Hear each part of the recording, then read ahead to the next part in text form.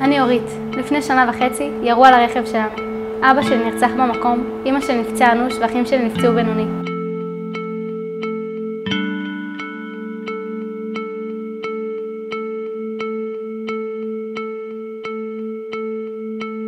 היי, אני עדן. נפצעתי אנוש בפיגוע באוטובוס שהתפוצץ. אני לא אוכל לרוץ.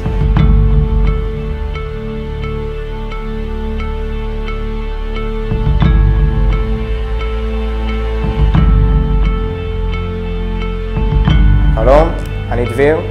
לפני שנתיים נסענו לשבת, כל המשפחה, ירו עלינו, אני נפצעתי, אבא שלי ואח שלי.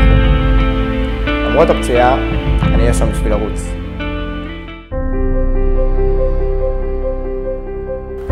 עמותת משפחה אחת היא עמותה מדהימה שעוטפת את הנפגעי הטרור ונותנת להם הרגשה של ביטחון. אנחנו רוצים אתכם, אנשים יקרים. אתם הכוח שלנו מול הטרור הזה. האהבה שלכם, התמיכה, זה מה שנותן לנו את הכוח להמשיך ולהתמודד עם הכאב והאובדן היומיומי. אנחנו רוצים אתכם איתנו. ביחד נרוץ בשביל החיים. ביחד איתכם נתגבר על הטרור. כי כולנו משפחה אחת. משפחה אחת. משפחה אחת. ב-9 למרץ, מרתון ירושלים. נגיע כל אחד עם החוסר שלו.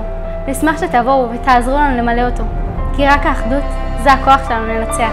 ב-9 למרץ.